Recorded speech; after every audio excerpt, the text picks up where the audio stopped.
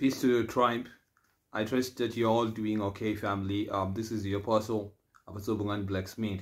I promised you a video um, a couple of days ago, maybe it's what, uh, three days, four days ago, um, about what how to tell the difference between the voice of your own heart and the voice of the Lord. So I'm going to start that teaching uh, today. So I believe it's going to be maybe a two-part, three-part series um, because before I talk about how the voice of the Lord sounds like, I want to talk about how the voice of God does not sound like.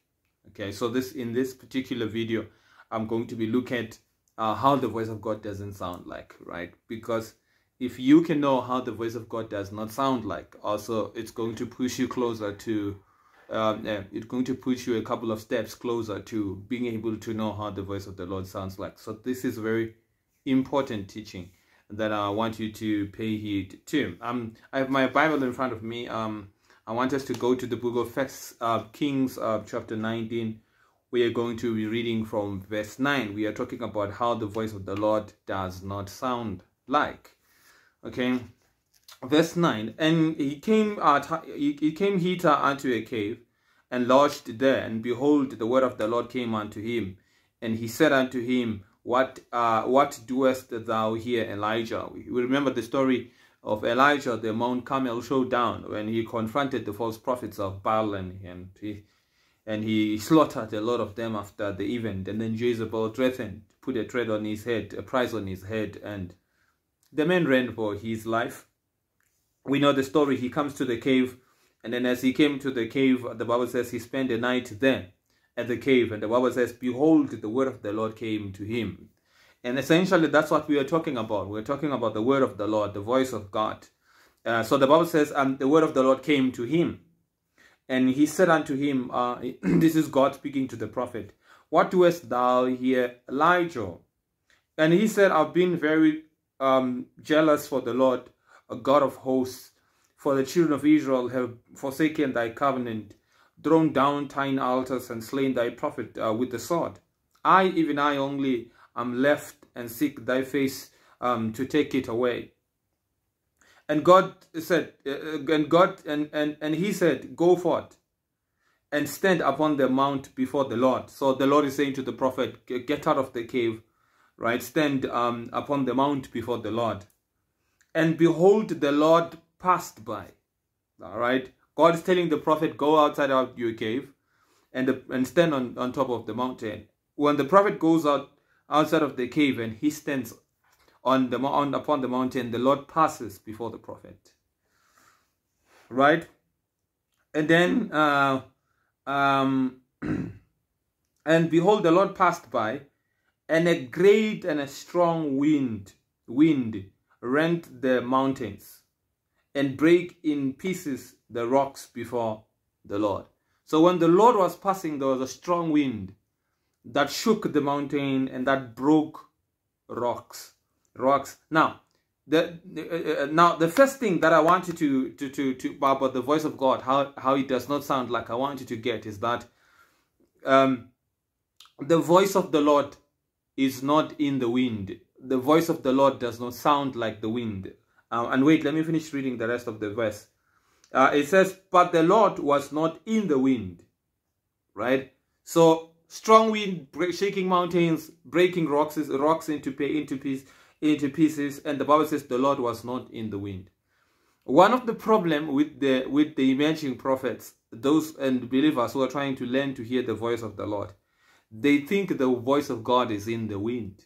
But the, the Bible says the Lord is not in the wind. And the wind, um, uh, the wind speaks of mystery. We know Jesus said to Nicodemus, the, you, you can see the you can you can hear the sound of the wind, you can see the effects of the wind. Yet you don't know where the wind is coming from and you don't know where the wind is going. So that is to say the wind is mysterious. So a lot of people they they think the voice of God is mysterious. And I blame a lot of prophets and prophetic teachers who came before us who who made it a point that they mystify the prophetic. They mystify it. There is um and i spoke about this before that there is this thing that um prophets and spiritual leaders love to make themselves like some type of special people like specially born type of people specially graced type of people. And of course when their followers believed that the prophet is specially born, was specially born, he's specially graced, then people begin to find the person mysterious. They find the voice of God mysterious. So people disqualify themselves from entering the prophetic because their birth was not accompanied maybe by supernatural signs. So a lot of people, this is why people find it an odd, a weird idea that the prophetic can be taught in spite of there were never mind there were there were there were um schools of the prophets in the bible. People still think it's weird to have a school the school of the prophets. Yet in the bible in the bible there are schools of the prophets. Why? Because it's a misconception that the voice of god is supposed to be difficult. The voice of god uh, you know you're supposed to have a special grace. You're supposed to have a special anointing. Maybe you're supposed to go on fasting 100 days come back and then you can start. And i taught you this one of the things I always taught being consistent in teaching in my prophetic schools is that the reason why you hear the voice of God is the main reason, the primary reason why you hear the voice of God is because you were created to hear God. Just as in the natural you are created to hear, in the spirit you, you are created to hear. So your spirit, man, can hear. This is why even being born again, it's not um, a requirement before someone can hear the voice of God. And I and I showed you also in some of my teachings that Old Old Testament people who were not part of the covenants of Israel had God. God, for example, gave Pharaoh a dream, and Pharaoh was not uh, part of the covenants of Israel. He worshipped the the gods of Egypt. Uh, God gave kingdoms to Nebuchadnezzar, uh, uh, hence the Lord humbled him, and he gave, spoke to him. He gave him dreams and all of that. So the men was not hearing the Lord because he was right with him. That's why I also told you that as much as holiness is important, it's not a requirement for you to hear the voice of God. So you can hear the voice of God because you are created to hear the voice of God. So it's it's, it's it has nothing to do with a special anointing. It has nothing to do with special grace.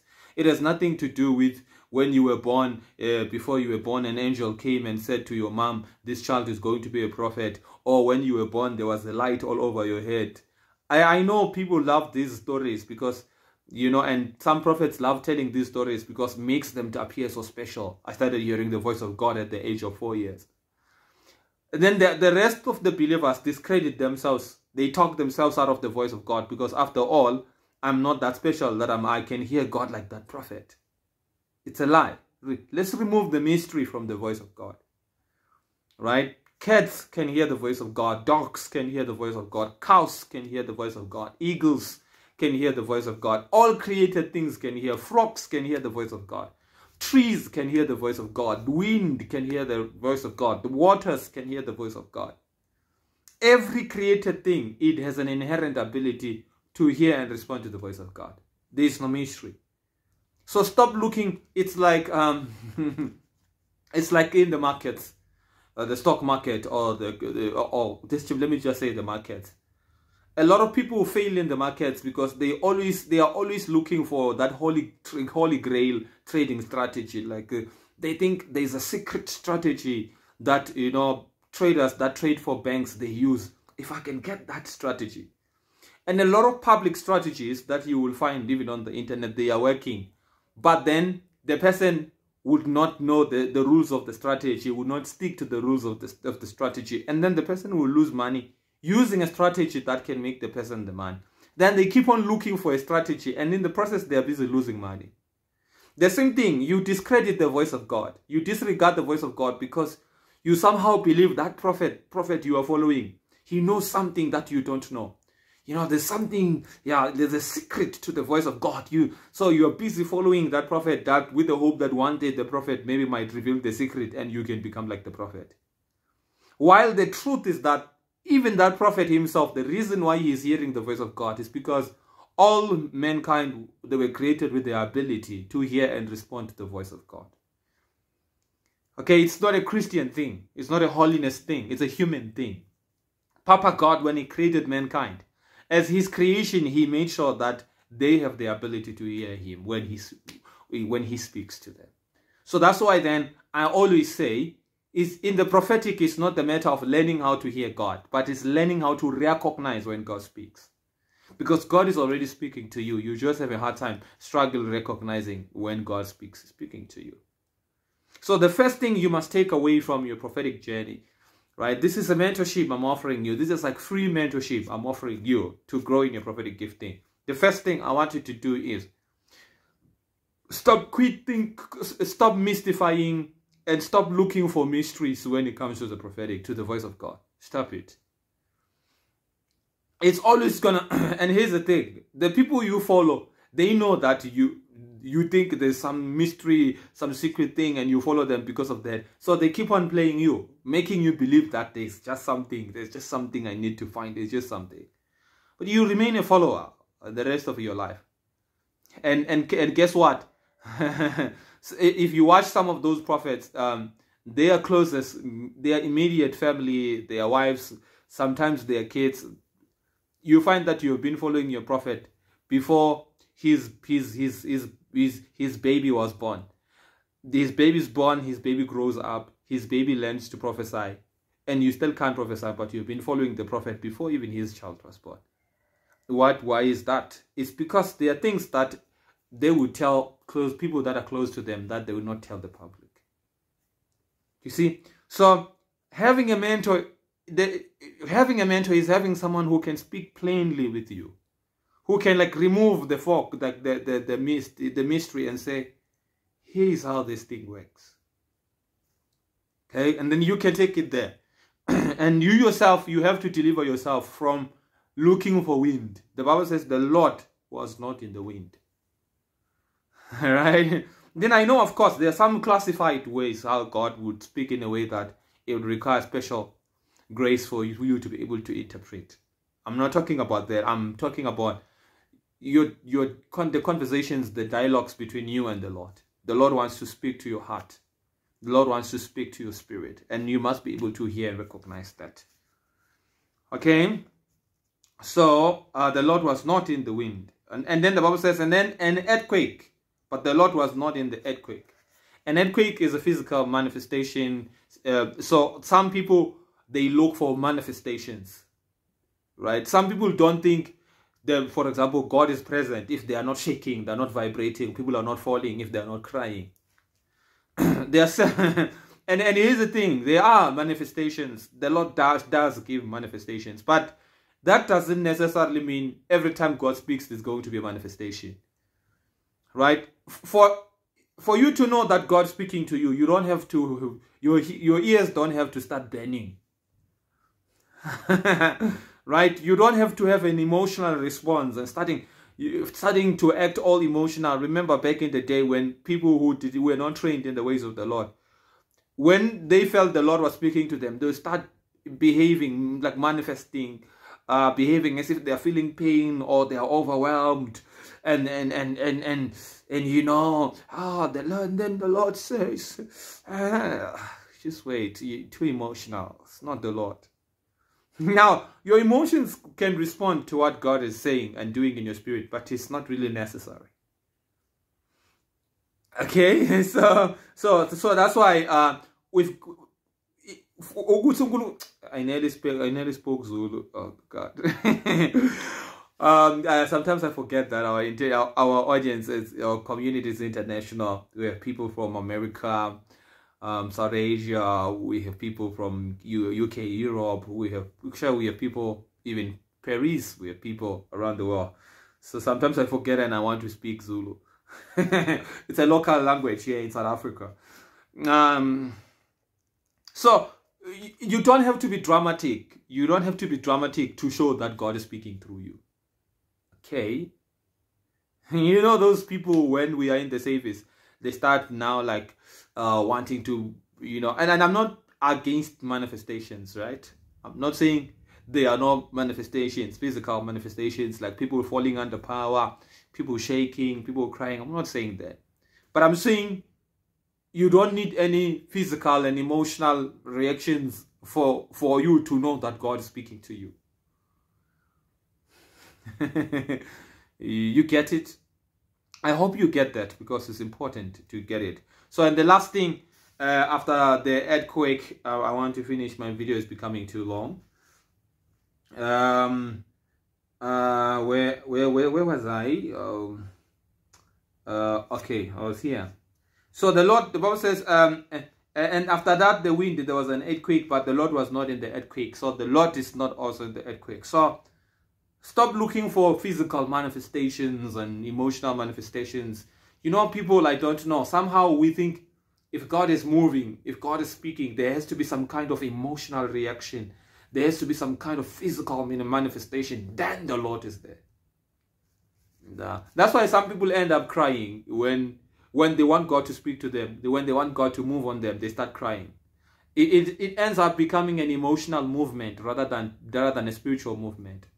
People end up to getting too much in the flesh just to show that God is speaking to through me or the Lord is doing something in me. Uh, and not everyone in the not everyone uh, who has manifestations they're actually trying to show other believers that God is using them or God's moving in them. Some people are just too sensitive, right? And that's why the fact that you don't fall, it doesn't mean you're less spiritual, actually. And, you know, the fact that you don't cry during worship, it doesn't mean the other people feel God more than you. you you're probably not that emotional,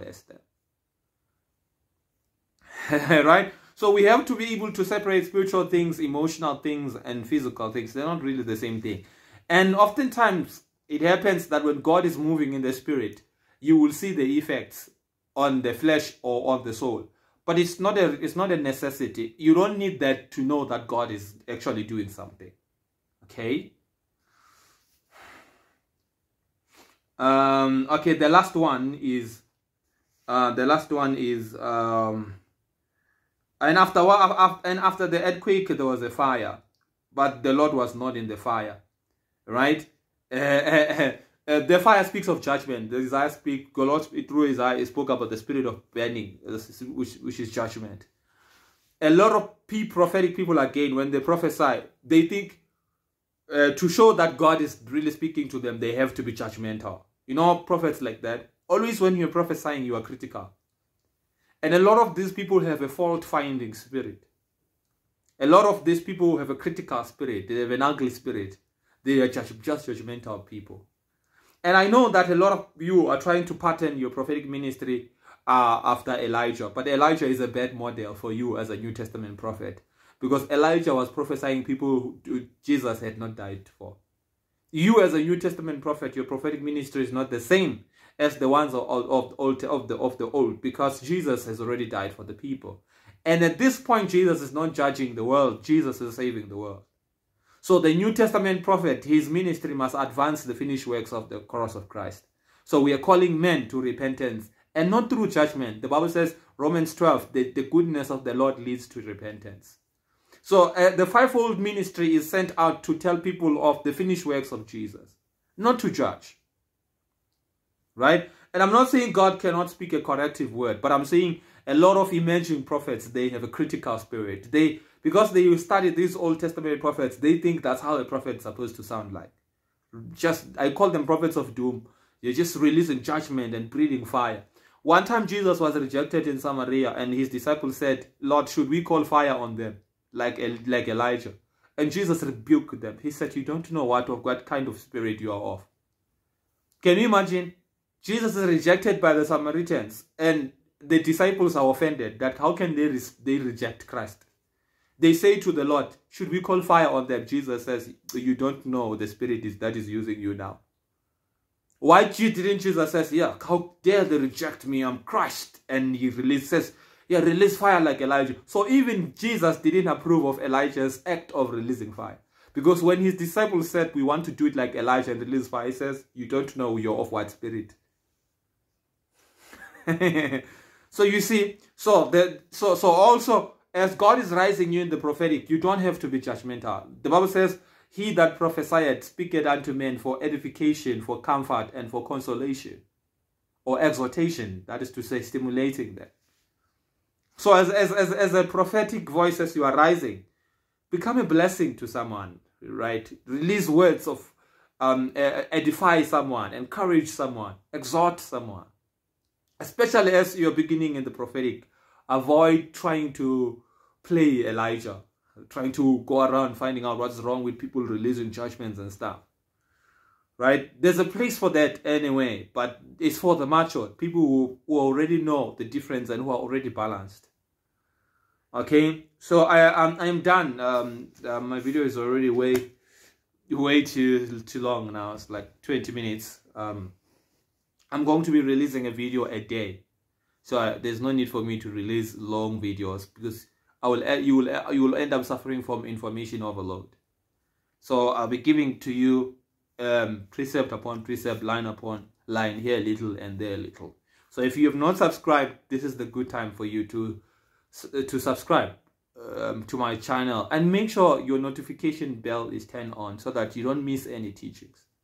Okay, so I'll be releasing videos from today. I don't know for how long, but for a season, I'll be releasing videos daily for mentorship purposes. I got a lot of you asking me on my Facebook uh, to to mentor you in the prophetic. So, and I know I have a school, uh, Elite School of Seers, but it's not for everyone. But uh, if you can prove your commitment and your dedication and your seriousness to me through the classes that I'm doing right now here on YouTube, I will I will I will handpick, I will prophetically choose among among some of you to to come and join us on the Elite School of the Prophets. But this is the public platforms for everyone. It's impossible for me to mentor every to mentor uh, you individually at this point. Um, our Facebook community has like 50, 58,000 people already. So people in hundreds, they are texting me asking for mentorship.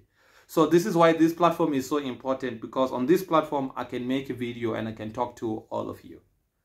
And also through the Elite School of Seers, if you privileged to become part of that school, you can get to be on Zoom uh, with me. Okay, so um, so so yeah, make sure you are subscribed and you follow through because I actually don't take this platform lightly uh, and and taking the Elite School of Seers more seriously because it's a private school. Right, so this platform is very important to me. Hence, I'm sitting here and I'm making a video to help you develop, to mentor you, to shape you, to polish you in the prophetic, and to help you put handles on your gift okay so i'm going to be seeing you tomorrow on the video um, um, tomorrow okay? So thank you so much for tuning in and i'm signing out